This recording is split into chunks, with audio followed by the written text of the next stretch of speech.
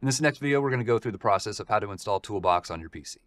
Now, if you haven't checked out our other video on preparing your computer for a Toolbox installation, I suggest you check that out first. So if you're ready to start creating projects and building extraordinary things with these, let's get into this next video and get Microvellum Toolbox installed.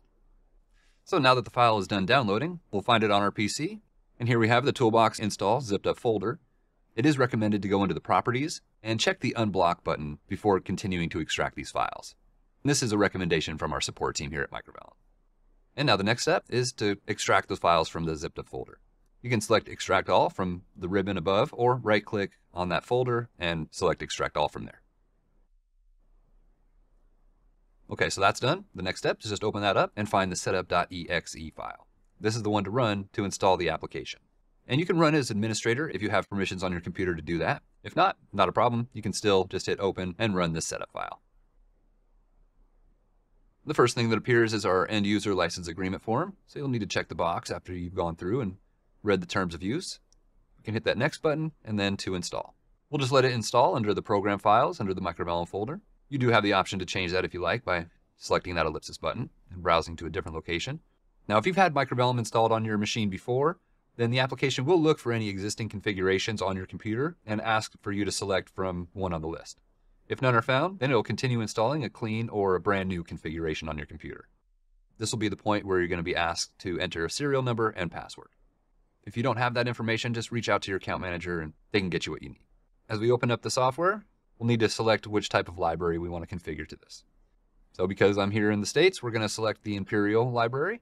Now, if you're not seeing the OK button after you select your library, like me, no worries, just hit the Enter key to proceed. Now, this is most likely happening because of the high resolution on this laptop. So if you got the same problem, don't worry, I'll show you in a minute on how we can fix that. And here's the login screen. We can select from a different configuration if we had one. But since this is the first time installing on this machine, we have the default Toolbox Imperial configuration.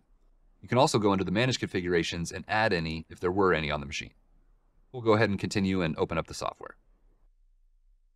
And as it opens up, the Microvellum palette will be docked with this message letting you know that MVTB7 is the command to bring back that palette if you happen to lose it.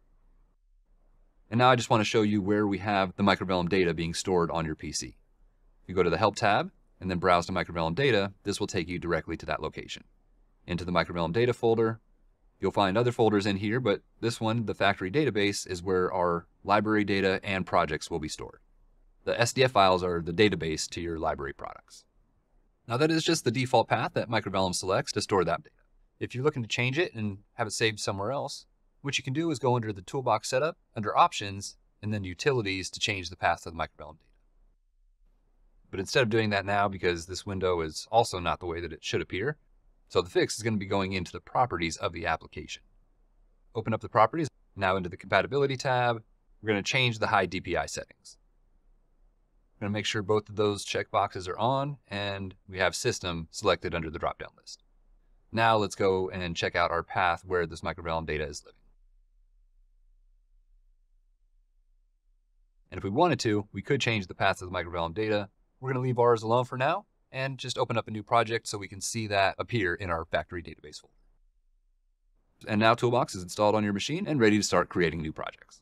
All right, well, there's really not too much to install the software on your machine. As long as you follow those steps, then you should be good and ready to start using Toolbox. Now, if you do have any questions or something didn't quite work out the way you were expecting, go to the knowledge base on our website and see some of the articles that cover Toolbox installation and some of the requirements needed for your PC. If you're still having troubles, then we also have the My Cases portal that you can access through the website to speak to our support team. That's it for now. Until next time, have fun working in Microvellum Toolbox.